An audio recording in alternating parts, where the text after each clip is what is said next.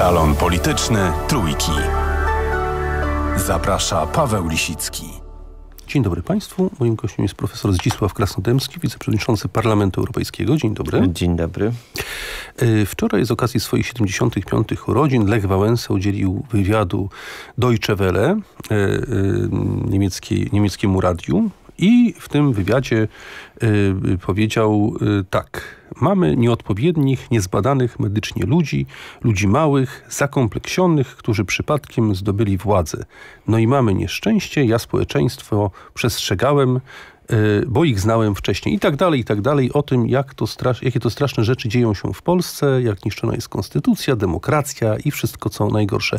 Y, to oczywiście jest taki stały sposób mówienia Lecha Wałęsy w ostatnim okresie i to tutaj nic zdumiewającego nie ma, ale to, co mnie interesuje, to jest takie pytanie, na ile takie sądy są w Niemczech traktowane poważnie, na ile one faktycznie kształtują opinię o Polsce niemieckich elit, a na ile są traktowane jako element pewnego rytuału, że jak się do Lecha Lecha Wałęsy zadzwoni, no to on takie rzeczy powie. Ja myślę, elit y, pra, tych prawdziwych, którzy, które rzeczywiście mają jakąś wiedzę na temat y, świata, mm, no to pewnie nie kształtują, bo pewnie te elity wiedzą, kim jest Lech Wałęsa.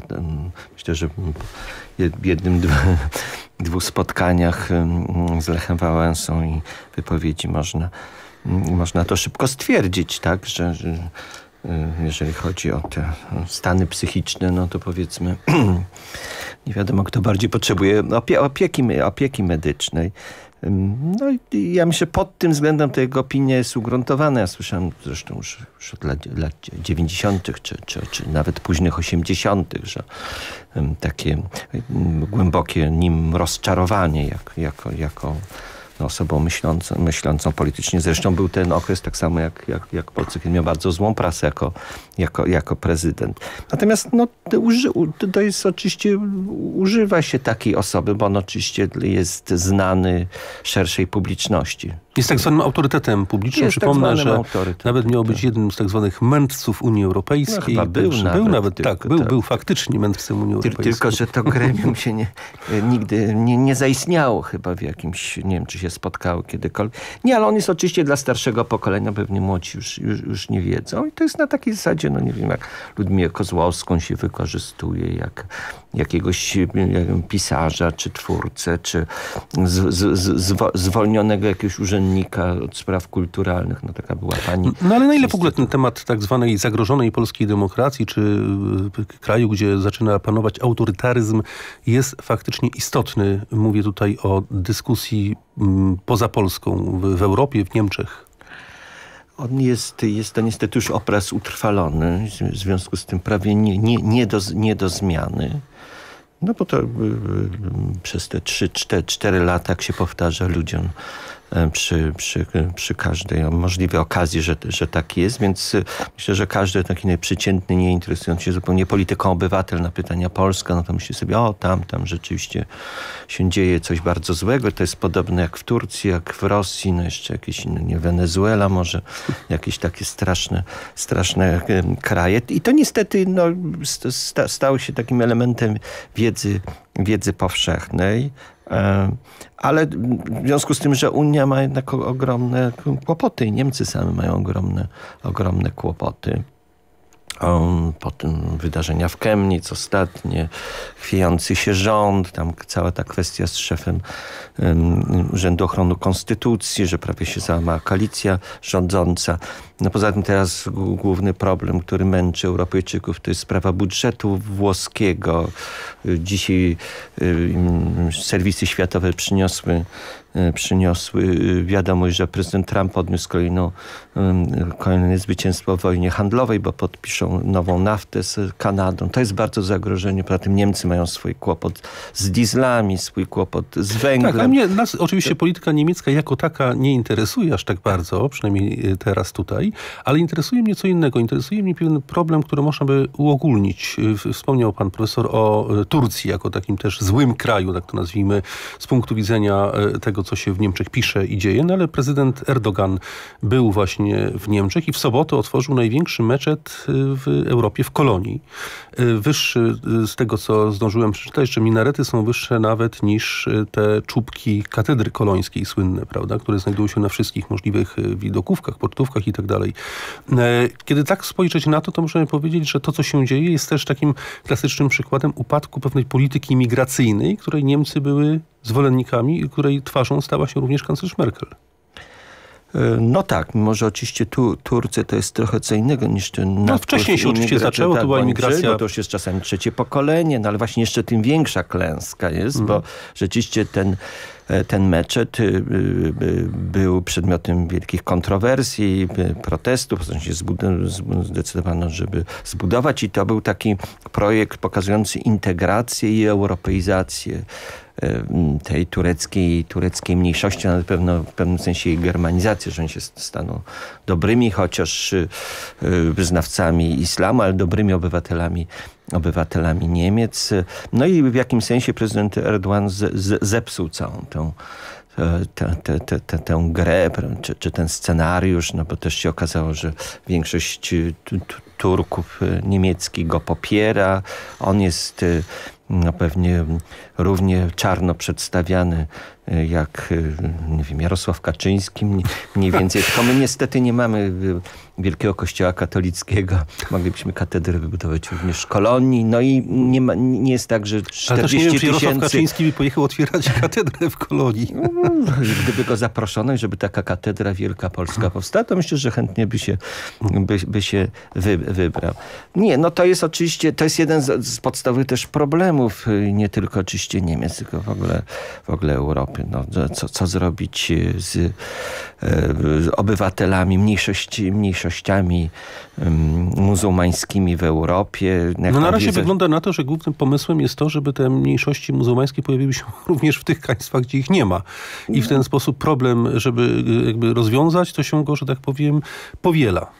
No tak, tak. No, chciano się po podzielić problemem i pewnie ta sprawa ciągle wraca i i, i, i na, na, pewno powróci. I teraz to, to, co, od czego zaczęliśmy, ten wizerunek polski, no to też jest oczywiście jakiś element y, gry czy nacisku i między innymi również nacisku w sprawach, y, sprawach imigracyjnych. No, jak wiadomo w debacie na temat Węgier y, premier Orban powiedział, że to jest zemsta w ogóle za, za to, że że, że Węgry tak się postawiły w sprawach, w sprawach imigracji. Ale wie pan, no, ja słyszę czasami no, zupełnie takie e, drastyczne i przesadzone opowieści. Niedawno rozmawiałem z pewnym profesorem francuskim na odwiedził Sorbony, który twierdzi, że już nie wiem, Francuzi mm, zaopatrują się, się w broń, że w ogóle wojna domowa tam jest nieunikniona. Ta, słyszę takie, prawda? Hmm. To jest dla mnie też ciekawe. Oczywiście są na pewno przesadzone. Ale wojna opowieści. domowa kogo z kim? katolików, czy, czy po pozostałości z, z, z, z wyznawcami islamu. No, katolików we Francji to chyba zbyt wielu nie ma, przynajmniej na tylu, żeby byli w stanie się przeciwstawić no, wyznawcom islamu. Ten akurat profesor był katolikiem i, i wyrażał chęć, że tak powiem, obrony swojej, swojej, swojej rodziny. Dla mnie to jest interesujące, że takie, takie w ogóle takie opisy się pojawiają w przestrzeni, w przestrzeni publicznej y, państw, y, no właśnie Europy, Europy za, za, zachodniej, bo to znaczy to o czym świadczy. No, zwłaszcza że oczywiście no, to są zwykle skrajne, skrajne opowieści. No i w przypadku, w przypadku Niemiec też mamy jakby nieudany ten problem integracyjny. Tą społeczność tu, turecką, czy która jest coraz bardziej no, świadoma też siebie politycznie, więc ona będzie zmieniała Niemcy, ale ja uważam, że dla nas akurat to to jest y, pozytywna zmiana. Zawsze mieliśmy kłopoty z Niemcami, By, być może gdzieś nastąpi tam zmiana kulturowa czy religijna, to być może nawet będzie łatwiej nam roz, rozmawiać, więc ja uważam, że w jakimś sensie można powiedzieć... Czy islamizacja nie Niemiec sprawa... nie jest dla nas zagrożeniem, pańskim zdaniem? Moim zdaniem nie jest dla nas zagrożeniem. To jest problem Niemiec. Ja, ja zawsze też mówię, że my szanujemy ich politykę imigracyjną, niech oni szan, szanują naszą. To jest kwestia decyzji suwerennych. Ostatnio zresztą badania pokazały, że ciągle większość Niemców popiera politykę imigracyjną Angeli Merkel. Ja nie mam nic przeciwko temu, żeby oni nadal byli krajem tak otwartym, w 2015 roku. E, pojawia się również, bo to jest też bardzo ciekawa rzecz, pozycja polityczna, jak wiadomo, kanclerz Merkel jest w tej chwili mocno zagrożona. Wygląda na to, że rzeczywiście jej rządy dobiegają końca i w związku z tym też pojawiają się, bo to bardzo częsty przypadek, kiedy pozycja któregoś z du liderów dużych państw zachodnich jest zagrożona, pomysły integracyjne, żeby jeszcze bardziej zintegrować Unię Europejską. To z kolei chyba jednak jest dla Polski pewnego rodzaju problemem. No jest, jest problemem. To jest oczywiście związane z tym Mm, z niestabilnością w, w Niemczech wyjątkową pewną polaryzacją też wokół pro, problemów imigracyjnych, ale, ale, ale nie tylko. A to jest, jest związane z Brexitem. No i, i z jednej strony mamy te wszystkie propozycje prezydenta Macrona, też dążące, do, proponujące jakby zacieśnienie Unii, Y, Angela Merkel wczoraj zgłosiła chyba wczoraj taki, taki projekt, żeby na przykład, że koniecznie musimy mieć wspólną politykę zagraniczną, że powstało coś w rodzaju Europejskiej Rady Bezpieczeństwa, gdzie będą państw członkowie stali, którzy będą wyznaczać główne kierunki polityki zagranicznej Europy, to pewnie Francja i Niemcy, no jakieś zmieniające się mniej niż Mówi się o Europejskim Funduszu Walutowym, będzie Europejski Fundusz Obronny, prawdopodobnie też coraz częściej się mówi, że będzie komisarz do spraw obrony. No, jest dążenie, dzisiaj się ukazał artykuł mm, publicysty francuskiego, który proponuje, żeby dać sobie spokój z taką Unią 27 państw niespójną, żeby utworzyć rząd front, francusko-niemiecki, wokół tego budować nową A reszta nową się ma dostosować. Reszta może się do tego, tego przyłączyć. Natomiast ze strony niemieckiej płyną też takie sygnały do nas na, na, o, obecnie. No porozmawiajmy o Unii, jakie, jakie Polska ma pomysły, czego my byśmy chcieli. Mm, oni by chętnie pewnie nas jednak do, dołączyli zgodnie z taką formułą e, trójkąta weimarskiego, żeby jako taki junior partner, żeby nie, być może, żeby nie zostawać e, sami z Francuzami. Zaczęliśmy naszą rozmowę od wywiadu Lecha Wałęsy dla Deutsche Welle. E, w sobotę ukazał się inny wywiad w Süddeutsche Zeitung. E, udzielił go wicepremier Jarosław Gowin. Samo, te same tezy powtórzył w dzisiejszym wywiadzie dla Rzeczpospolitej, a najważniejsze najważniejsza z nich brzmi, że prawo unijne stoi ponad krajowym i Polska musi szanować wyroki Trybunału Sprawiedliwości Unii Europejskiej. Może pan profesor mnie w stanie wyjaśnić, jak to się stało, że Jarosław Gowin w, w ciągu miesiąca, e, półtora miesiąca, że tak powiem, przeszedł z pozycji sceptycznych na pozycje af, te, tak mocno afirmujące. Jakieś oświecenie nastąpiło? No, nie, no myślę, że trzeba się zapytać Jarosława Gowina, ale może zastanowił się głęboko. Może pier pierwsze zdanie było nieprzemyślane, może drugie jest nieprzemyślane. E, ale w tym samym wywiadzie on mówi, że, mm, że to nie znaczy, odwołując się do konstytucji, no, że jest też znany wyrok y, niemieckiego Trybunału Konstytucyjnego, że jednak konstytucja, prawo zasadnicze niemieckie jest ponad prawem europejskim. Niemieckie, ale nie polskie. Y, no, ten, ten Trybunał wypowiedział się w sprawach Co niemieckich, Niemiec, ale myślę, że nasz Trybunał Konstytucyjny powinien się wypowiedzieć y, w takiej właśnie kwestii. No dobrze, w tych sprawach, no jednak Europejski Trybunał Trybunał Sprawiedliwości może się wypowiadać tylko w sprawach traktatowych. No, tak samo jak się często zapomina, ale Europejska y, Karta Praw Podstawowych y, tam y, praw, praw, praw człowieka, które, której w ogóle mamy opt-out, prawda? No, no, przystąpiliśmy do protokołu brytyjskiego, ale ona dotyczy tylko stosowania prawa europejskiego w, w, w, państwach.